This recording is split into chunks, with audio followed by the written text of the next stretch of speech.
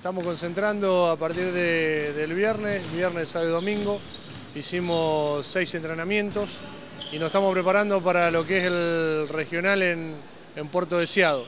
Eh, esto va por la Federación de, Chubut y de clasificar, estamos jugando con Santa Cruz y Tierra del Fuego, estaríamos jugando en Resistencia Chaco.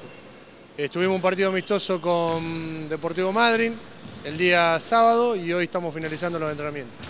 Estuvimos trabajando sobre todo en la, la fase ofensiva, repasando los sistemas. Esta es la tercera concentración que tenemos. Y también estuvimos trabajando en la defensa, que eso se encargó Claudio Nicol. Y, y nos estamos preparando para afrontar el regional que se juega en Deseado. Los chicos están muy bien, estamos, se están concentrando 12 jugadores, estamos con algunas bajas que se bajaron de esta concentración, así que estamos con 12 jugadores para, para el torneo.